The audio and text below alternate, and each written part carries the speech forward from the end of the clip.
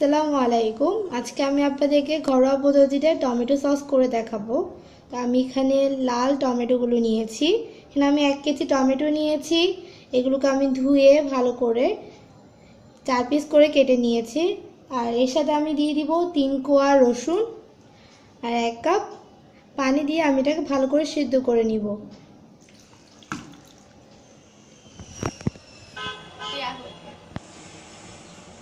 এখন আমি এটা চুলায় বসিয়ে দিলাম আর গ্যাসটা অন করে দিচ্ছি। এটা সিদ্ধ হতে থাকবে, ততক্ষণ আমরা ফিরে আসছি। টমেটো এখন সিদ্ধ হয়ে গিয়েছে। এখন চুলা অফ করে দিব আর ঠান্ডা হওয়া পর্যন্ত ওয়েট করব। তারপর এটা আমরা ব্লেন্ড করে ফেলব। টমেটোটা ঠান্ডা হওয়ার পর ব্লেন্ড করে নিয়েছি আর এখন ছেঁকে নিচ্ছি। ভালো করে ছেঁকে নিতে হবে। টমেটোটা ভালো করে ছেঁকে নিয়েছি। এখন আমরা চুলার আঁচটা জ্বালিয়ে দিব আর বলক আসা পর্যন্ত এটা রান্না করব।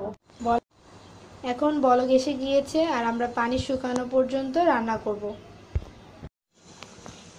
টমেটো পানিটা শুকিয়ে গিয়েছে। এখন আমরা এর মধ্যে বাকি উপকরণগুলো দিয়ে দিব।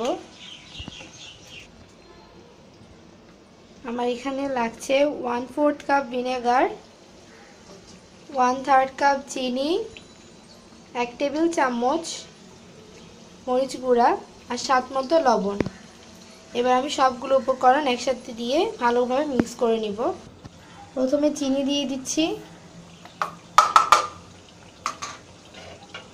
মরিচ গুঁড়া আর লবণ দিয়ে দিচ্ছি স্বাদ মতো।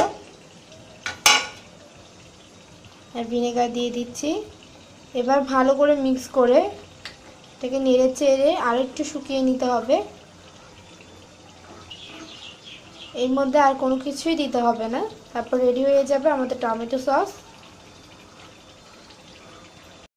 আমাদের সসটা রেডি হয়ে গেল আর চূড়াটা বন্ধ করে দিলাম। এবার আমি আপনাদেরকে দেখাই কীভাবে এটা পারফেক্ট সস হবে। সসটা যখন প্লেটে নেওয়ার পর উল্টিয়ে দেখবেন। যেটা পড়বে না, তখনই বুঝবেন যে সসটা হয়ে গেছে।